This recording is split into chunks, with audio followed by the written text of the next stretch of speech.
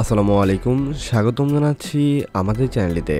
চলমান Lankan premium league LPL এর সপ্তম ম্যাচে মুখোমুখি হয় গল টাইটান্স ও জাফনা কিংস, যেখানে সাকিবুল হাসানের দল টাইটান্স আগে ব্যাট করতে নেমে একশো সতেরো রানে থামে।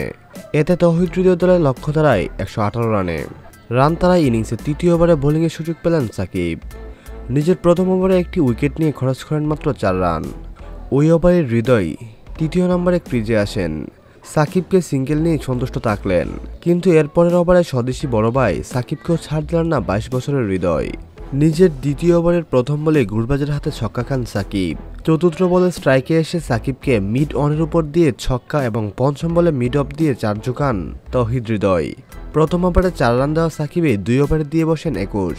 সব মিলিয়ে চার ওভারে বল করে একত্রিশ রানে দুই উইকেট নেন সাকিব। শুধু স্বদেশি সিরিয়ালের উপর চড়া হওয়ায় নয়, শুক্রবার রাতে হৃদয় খেলেছেন বিধ্বংসী এক ইনিংস। তেইশ বলে চৌচল্লিশ রানের হারনা মারা ইনিংসে চারের চেয়েও বেশি ছক্কা, দুটি চার এবং চারটি ছক্কা হাঁকান। ম্যাচটা তিনি শেষও করেন ছক্কা দিয়ে। সম্মানিত ভিউয়ার্স তহিদ হৃদয়ের এমন দাপটি ব্যাটিং নিয়ে যদি আপনার কোনো ব্যক্তিগত মন্তব্য থেকে থাকে, তাহলে অবশ্যই আমাদের কমেন্ট বক্সে জানাবেন।